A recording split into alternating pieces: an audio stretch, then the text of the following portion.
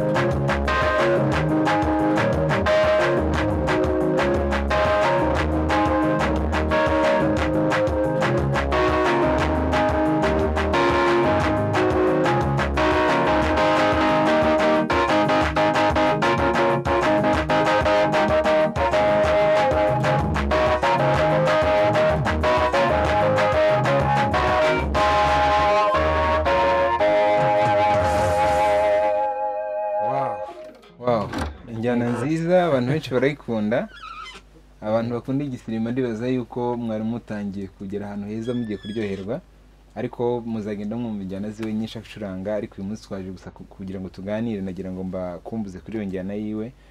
Hanyuma ugeze hano mu kwa musabwa aho haba ubona ibintu byinshi muri salo ubona ahantu hari washa record ah, ubona ahantu hari nvt ah, musabwa uretse gucuranga injyana y'igisirimba wenda abantu benshi bakuziho n'izindi ndirimbo ujya ukunda gucuranga no gucuranga mu rusengero ah, ahangaha iyo tuhageze tubona ko hari studio nziza igezweho ni izihe njyana zindi ujya ucuranga Eh, urakoze usibye gucuranga igisirimba nk'uko bivuze hano wageze ubona haranditse washa record hari nvt Mm. music entertainment ni ukuvuga ngo ibintu mbitekereza Mm. byari bibiri na makumyabiri eh, tuvuye muri kenya uribuka hari igihe twagiye muri kenya na na na evangeliste king wagiye muri amerika Mm. Eh, turaza tugeze hano twageze hano ari bwo babonye umuntu wa mbere wanduye covid mu- rwanda so niwo munsi twaraye tugeze hano noneho amacaces n'ibindi bikorwa birafunga kubera icyorezo. Kitari cyoroheye isi yose nk'uko tubizi n'ubu ngubu turacyari muri pandemic ariko imana turizera ko iri kugenda ibigenza neza Mm. Eh, ni ukuvuga ngo tugeze hano hari mu kwa gatatu i think Mm. eh, ni bwo natekereje igikorwa cyo gukora studio Mhm. kuko nari maze nari ndi ku ishuri niga nk'abandi noneho ntekereza ukuntu noneho umurimo wanjye muri church ari ugucuranga Mhm. Ndeba ukuntu ngiye kumara uh, almost igihe ntazi ntacuranga muri church numva birambabaje Mm. eh, niko rero gutekereza ndicara ndavuga se ni iki kintu nakora Mhm. behind yo kuba ndi, gucuranga muri church bitagikunze muri ino minsi ni kindi kintu nakora kugira ngo impano yanjye ireke kwicara Mhm. ni bwo natekereje kuba natangira uh, home studio eh, ndavuga reka ndebe ukuntu negeranya utuntu kugira ngo ntangire ntangira ngura amashini ngura speaker ngura sound card pole pole byagiye kugera nko mu kwa gatanu maze gukora ibintu bitari bikeya. Mhm. Ya, n'abavandimwe bagiye bamfasha kugira ngo mbigereho. So hanyuma nda ndakoraga home studio noneho kamfasha kuzajya nkora indirimbo zanjye mwarazibonye kuri youtube yanjye nagiye nkora. Ah, ndavuga no ntabwo rero bigomba kurangirira aha ngaha. Reka ndebe uburyo nkora kino kintu kibe wide ku buryo kizafasha n'abandi bafite impano runaka. Eh, nabitangiye sinabikoraga for sake of money kurusha nabikoraga nko kuba nateza imbere impano y'undi muntu. N'ubu ngubu niko bimeze. Kuko ahanini usanga hano hantu atari du- turakora rikodi ariko cyane cyane nda- ndashaka kuba nafasha abandi bantu bameze nkanjye bafite impano bashaka kugira aho bazigaragariza nabo kugira ngo dufatanye turebe ko twazamura impano zacu zikazatugirira akamaro mu minsi iri imbere. So niko rero kuba nabona ubushobozi buke nari mfite mfatanya n'abavandimwe baramfasha ya nza hano mva mu rugo nza kubamo hano. Ya mu rugo ubundi ni igikondo mu busanzwe. So nza hano kabeza n'ubu nubwo bitararangira ariko ndi, mu nzira yo kuba na, nakora ibintu binini biri wide ku buryo buri muntu wese azisangamo. Yaba ari aba- aba- abakoze abize photography abakoze iki mbese ku buryo nzakora ibintu mo hano buri wese azajya yisangamo bijyanye na media. Ku buryo yaba ari abacuranga ingoma wabonye na zo naraziguze ya abashaka gukora indirimbo zabo Mm. ndi kubitekerezaho ku buryo bizaba wide kabisa. Abantu bose bakisanga mu bintu ndi gukora. Niyo Mm. mpamvu rero abonye Washa record ndashaka kuyikora ikaba studio eh, mpuzamahanga. Ku buryo izava hano ikagera Mm. n'ahandi. Ubundi studio ntabwo zikunze kugira amashami. Ariko njye yanjye njya numva muri njye izagira amashami. Nk'uko ujya mu mujyi ugasanga nyirangarama wajya umusanzu ukayahasanga ku buryo uzajya ugera buri ntara ugasanga harimo washa record cyangwa se nvt management. So kuri nvt ni, Mhm. Mhm. ya studio n'abantu dukorana. Eh, so ni ni ni iriya ni robo igaragaza management then Mhm. washa record ni studio. Okay. Yeah, abavandimwe dukorana urumva ni ikintu cyiza ibibazo biraje isi yose ishyizwe mu nzu kubera Mm. covid ariko wowe uratekereza uti impano yanjye nayibyaza umusaruro gute? Ah, ni izihe mbogamizi waba warabanje guhura na zo ukimara gutekereza ibyo bintu kuvuga ngo wenda nshobora kuba nakora studio ni iki cya mbere cyaje nk'imbogamizi kuri ukavuga ngo ibi bintu ndabona ahari wenda bishobora kuba bitakunda ni iki gishobora kuba cyarabanje guhagarara mu nzira yawe kugira ngo kikubuze kuba wakomeza urwo rugendo wari wiyemeje gutangira Yeah, of course eh, eh, ntabwo bijya bibura imbogamizi ntabwo zibura Mm. eh, sometimes uhura n'abantu baguca intege bakavuga ibintu ugiye gukora ntabwo bizavamo ntibizakunda. Mm.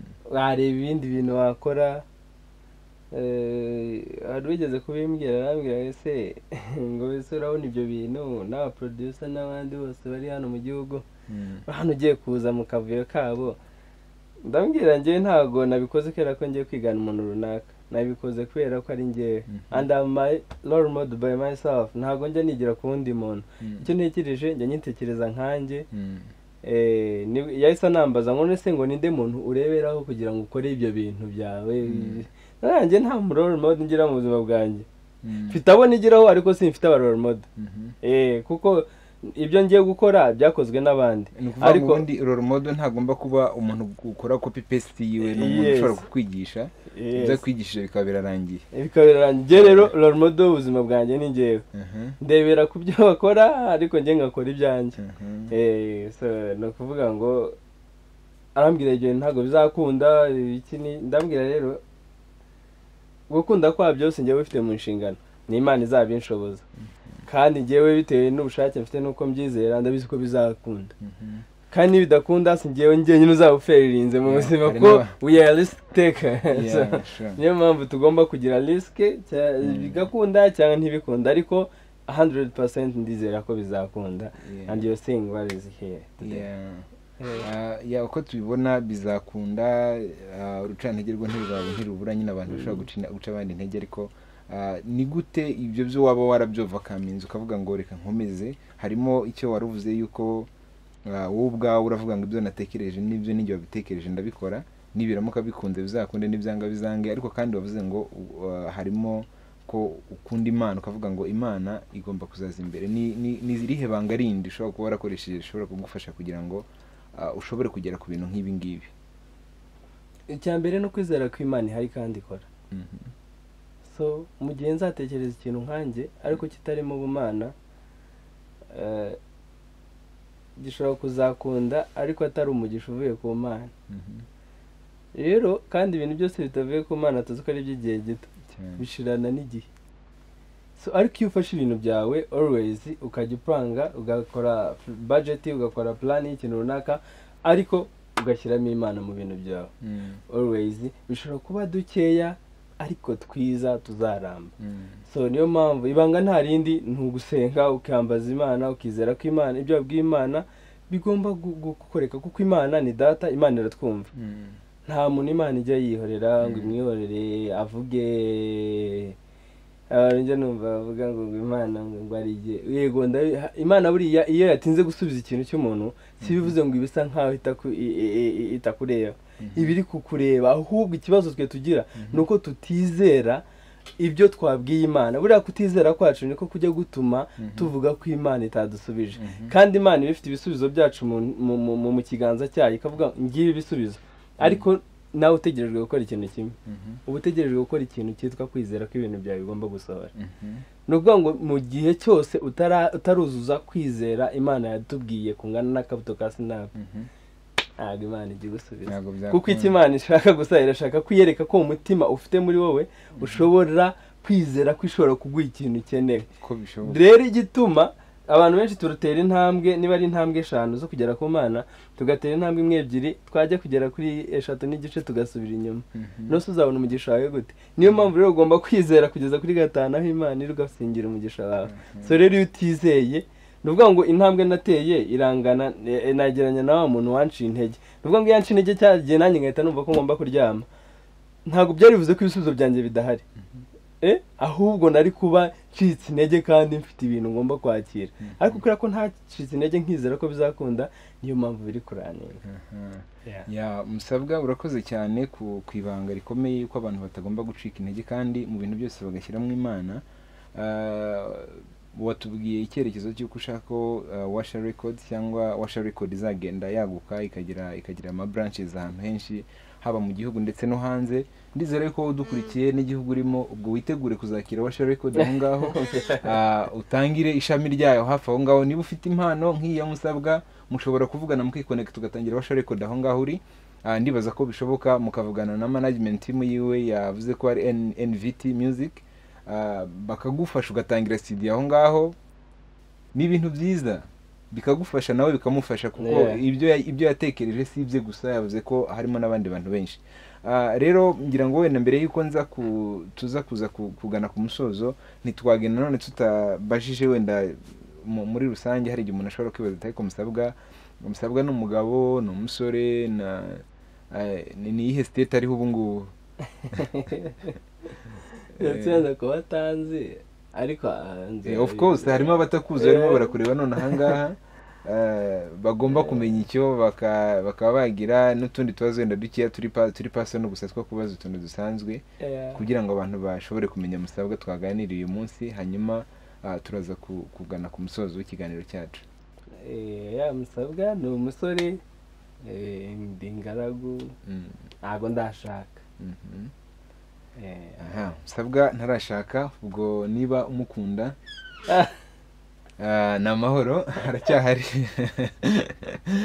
ya hanyuma musabwa muri rusange mu buzima busanzwe burya umuntu wese aba agira ibyo akunda mm, ndetse burya ibyo umuntu akunda ni na byo bigenda bimuha kumenya n'ibyo agenda akora mu buzima bwe bwa buri munsi. Mm. musabwa akunda iki mu buzima bwe busanzwe yaba ari mu mibanire n'abantu muri rusange musabwa avuga ngo musabwa umuntu ashaka kumenya musabwa akunda iki ya- yavuga ko musabwa ari umuntu ki akunda iki. Eh, nyuma yo kuba ncuranga mvuye muri ibi ngibi. uvuye muri ibi mu buzima bundi bwo hanze umuntu uhuye nawe turi hanze tutari muri muri studio tutari mu rusengero uri gucuranga yavuga ko musabwa ni umuntu umeze ute ubana n'abantu gute ukunda iki mu mu mibanire yawe n'abandi. Ya mubanzi wenda sinzi ko wenda umuntu amenywa n'abandi. Ariko ngewe uko njya mbibona ntabwo njya nishimira kubona mugenzi wanjye ababaye. Mu gihe mfite ikintu namufasha. Ni mu buzima busanzwe mvuye hano mba numva ko eh, da first of all ngomba kumenya ko inshuti yanjye imeze neza nanjye niyo imeze Mhm. neza. So nta mpamvu yo kubaho wishimye kandi abandi bantu ba- bababaye. So mu gihe rero uri umuntu wanjye waba bugufi wenda bamwe yarabizi ntabwo njya nshaka ko yababara mbireba Mhm. Ya, ndi umuntu ukunda gusabana ugira urwenya rwinshi Mm. abantu bajya bambwira kenshi ngo kuki utajya ubivuga muri videwo ngo Mm. uri karume ngo tuzi ko wirata ntabwo ni ukora muri videwo nyine nta yindi usibye professionalism gucuranga. Nta kindi ntabwo mba nahaye umwanya wo kuvuga hariya ariko mu buzima busanzwe navuye hano mu rusengero cyangwa mu mu muziki muri make kavuye gutyo Mm. nkunda umuntu uri sociable nkunda kuganira n'abantu Mm. ya tugatera burage n'ibindi Mm. byose nyine ariko nyuma y'ibyo Mm. cyane cyane nkunda kuba ndi alone. Nkunda kuba nicaye ndi njyenyine ndi gutekereza ku kintu ngomba gukoresha Yes. Eh, buri munsi mba ngomba kurara amenya ikintu kizaba ejo bitewe n'icyo nakoze today. Mhm. Eh, niba narikodinze vasi imwe yanjye Mhm. mpita nicara ngashaka ahantu hari bubi ya kabiri. Ni uko mbayeho Eh, ntabwo mba nshaka ko ibintu byanjye by'uyu munsi bisa n'iby'ejo. Mhm. Eh, ushaka ngo ibya none bibe bitandukanye n'iby'ejo kandi iby'ejo bibe byiza kuruta ibya none. Urakoze cyane ku kiganiro cyiza tugiranye. Ah, hanyuma wenda umuntu ashobora kubazaho gatoya kuri washa records Ah, umuntu wenda ufite impano ye washaka kuza ku, ku, kugira kugira mu mufasha azamuke ni umuhanzi ni umuririmbyi bisaba iki? Eh, birasaba ko ya- ashobora kunyandikira kuri instagram ni musabwa official. Cyangwa wenda akabishyira muri comment kuri online Mhm. Ya, wenda afite impano ashaka kuririmba kugira Mhm. cyangwa se afite ikindi kintu ashaka gukora cy'umuziki wenda umuntu yamugiraho inama cyangwa se twafatanya Mhm. yabishyiramo aho ngaho Mhm. cyangwa akanyandikira kuri email ni bienveni musabwa eh, gmail dot com Egg. Mhm. Eh, bienveni ariko eh, bienveni irimo m itarimo n. Eh, nayikozemo ikosa mbishaka nta kibazo. Ya ndumva ari ibyo ngibyo. Nta kose izaho nk'umuntu aje gusohora indirimbo. No, o- of course biterwa n'uko yabyanditse n'uko yaje nk'indirimbo imwe umuntu akoze indirimbo. Nkanjye mfite indirimbo ariko Eh. ntabwo nenda kuba umuririmbyi. Eh. ariko umuntu afite indirimbo yaranditse indirimbo ashaka kuyicuranga ashaka kujya asohora audio gusa. Mm. byamusaba iki? Ni we waza nyine. Yazana n'ituro gusa bisanzwe. Yazana n'ituro mukavugana ubwo mwavugana mukamenya uko mu- mubi- mubi- mubigenza ndumva kuko hari na benshi mfasha reba ne- n'ejo hari umuntu waje hano. Njyewe nabonye umuntu wamukorera indirimbo. Mbona ni byiza nanjye nifuza kumukorera indi. Mhm. turayirikodinga Mm. Ahubwo yavuye hano inarangiye. Wenda gufasha abantu gutyo bakaba nafata na projet we akayijyana ahandi ariko nayimukoreye kubera ko numvishe ko Yeah. Mhm. sabwa urakoze cyane. Wa- tubwiye kuri washa record. Washa record urabona ni studio mufite hano. Studio ubundi kugira ngo umuntu atangire studio ni ibiki akeneye? Ni ibihe bikoresho biba muri studio? Birashoboka ko hari n'abandi wenda bifuza gukora studio. Ni ibihe bikoresho twagiye tubonamo ibikoresho byinshi ariko bimwe na bimwe ntituzi n'icyo bikora. Wagenda utubwiraho muri makeya. Eh, ya studio ni ukuvuga ngo igizwe na speaker ikagirwa na mashini ikagirwa na card cyangwa se Mm. eh, ikagirwa n'imigozi na microphone bitewe na card yawe imyanya ifite ni ukuvuga ngo biterwa na njyewe nk'iyanjye ifite imyanya mikeya niyo mpamvu nkoresha microphone imwe birahagije ikashyirwa n'ama ekuteri na piano so deja ko hari we agenda na studio muri mu, gikapu. Akaba afitemo mikoro afitemo mashini afitemo agasipika na sound card. Uburyo aho wamusanga hose yahita akora- yahita yishyira setting aho ngaho. Kandi bakorera n'abahanzi bakomeye cyane. Mm. ni mashini izi ni sound card ebyiri mfite ni piano zombi na speaker. Mm. so n'ama Yeah. Kubera umuntu nawe nyatije so n'ingoma ku bakora live recording na zo ziba zikenewe wow. So ni byiza cyane ejo bundi tuzaza gukora indirimbo ni karibu tuzabakira Yeah. ya musabwa rero imana iguha umugisha ku kiganiro cyiza uduhaye n'amabanga menshi ubashije guhishurira urubyiruko yuko kugira ngo bashobore gukora hariho benshi ubu ngubu barimo baratureba bafite ibintu byinshi bibaca intege bibabwira ngo inzozi zanyu ntizishobora kugerwaho. Ariko ndibaza yuko ubaye urugero rwiza bashobora kuba bakigiraho bakamenya ko ibyo bintu birashoboka. Ariko kandi ntibave ku mana ngira ngo sinzi niba watubwiye aho usengera nk'umukristo nzi ko uri umukristo wa fosquare ariko. Muri intro ya mbere ya- yabivuze ko ari umukristo wo kuri fosquare kandi ni umuntu mwiza ah, ni umucuranzi mwiza nk'uko twabibabwiye wo ku rusengero uza agacuranga amateraniro agatatu n'ahandi hose yitanga mu buryo bwinshi bukomeye. Ah, imana ijya imuha umugisha kandi n'iyi washa record nk'uko afite inzozi zo kuyagura ikagera ahantu igera ah, ikafungura amaburanshi ahantu henshi hatandukanye ku isi. Ntibibe mu gihugu gusa ahubwo bigere ku isi hose mu burundi tube tuyifite muri congo tuyigire mu- muri amerika tuyigire muri australia tuyigire n'ahandi henshi no mu bushinwa naho tuhagere tugezeho ubutumwa bwiza binyuze muri iyi mpano yiwe. Imana iguha umugisha kandi ukomereze aho ngaho ukomeze guteza abantu imbere. Sinzi niba hari icyo wabwira abantu badukurikiye ah, dusoza Eh, ah, icyo nababwira nta kindi ni ugu- ni ugukomeza gusa. First of all kuguma ku mana Mhm. kuko imana niyo igena byose eh, Mhm. tukayizera. Mhm. hanyuma ibindi mu buzima busanzwe ni ukudushyigikira. Twatangiye ibiganiro kuri NVT TV online turi gushyiraho ibitaramo. Eh, biriya by'amakava byacu dusanzwe dukora. Ndetse hazajya hajyaho n'indirimbo official z'abahanzi Mm. tugiye gukorana. Mhm. mukomeze mukore subscribe share and comment ku batarabikora. Abandi n'inkunga yanyu irakenewe mu buryo bwose yaba ari inama mwatugira. Mhm. z'uko twabigenza neza. Ndashimira n'abari kubikora. Muri kubikora muri kubona ko hari ibyo turi kugenda duhindura kubera ko ibitekerezo byanyu na byo birakenewe. So ikindi nta kindi gusa ni uko buri muntu wese aho ari urubyiruko agomba gutekereza beyond the scene Mhm. ariho today Mhm. utekereze nyuma y'ahantu uhagaze today niba uri muri classe niba uri hehe niba uri mu biki utekereze ese nyuma y'ibi bintu ndi gukora today ni iki nzakoresha so ni ukuvuga ngo ni twe rubyiruko rw'ejo rw'igihugu cyacu cy'u rwanda niyo mpamvu rero tugomba gukora kugira ngo twiteze imbere. Hato na hato tutagenda duhura n'amacrisis n'ababyeyi bacu bamwe muri twe bagiye bahura na yo. Mhm. ya kuko ah, hari ijambo umubyeyi yakundaga kumbwira ngo ntago yifuza kubona ngo ntago ayari kumbyara iyo ajya kumbyara nari kuba nkawe. Ni ukuvuga ngo ntacyo nari kuba ntacyo byari kuba bimaze iyo ambyara kugira ngo use ume ube ngo nkawe. ntacyo byari kuba bimaze. So rero niyo mpamvu ahambyaye kugira ngo niba yarabonye gatatu ku ijana nanjye nzabone cumi na gatanu ku ijana Mhm. so uwo nanjye nzabyara azabone mirongo itanu ku ijana Mhm. nawe nashaka umwuzukuru uzazuzuza ijana ku ijana so Mhm. niyo mpamvu rero aho uri today ugomba gutekereza inyuma ya seni uriho today ese nivaho uzakora iki niyo mpamvu utagomba guhanga amaso umuntu umwe cyangwa ikintu kimwe uriho. Ugomba kuba tuturavo Mhm. umukomisiyoneri naza akakubwira ngo hari abantu bashaka ko umufasha gushaka inzu uyishake ubonemo amafaranga ushyire ku mufuka. Nashaka ayo magana atanu yawe yararane.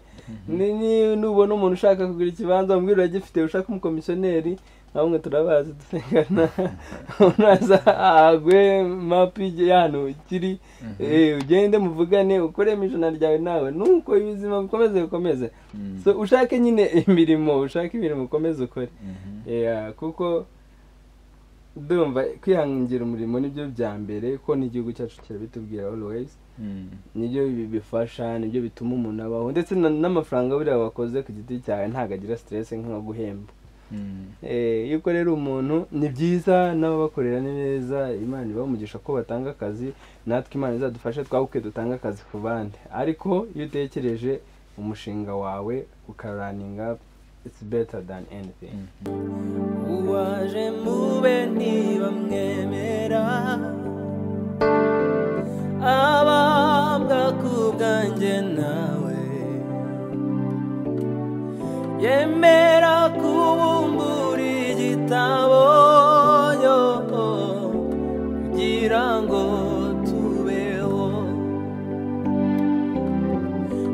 twari mu icuraburindiye nta byiringiro by'ejo dufite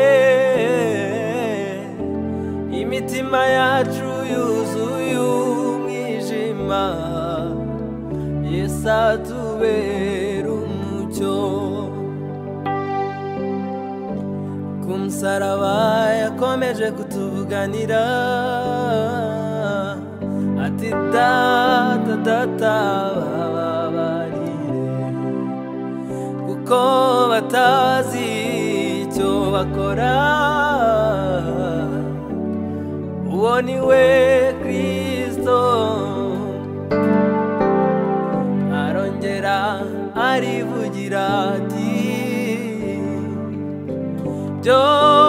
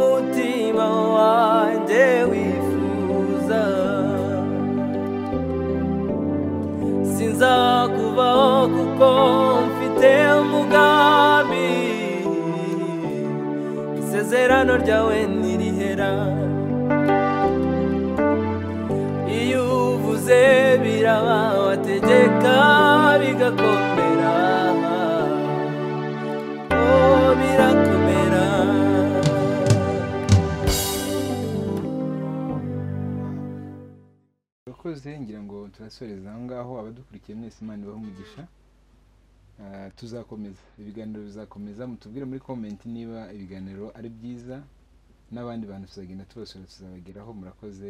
Bayi bayi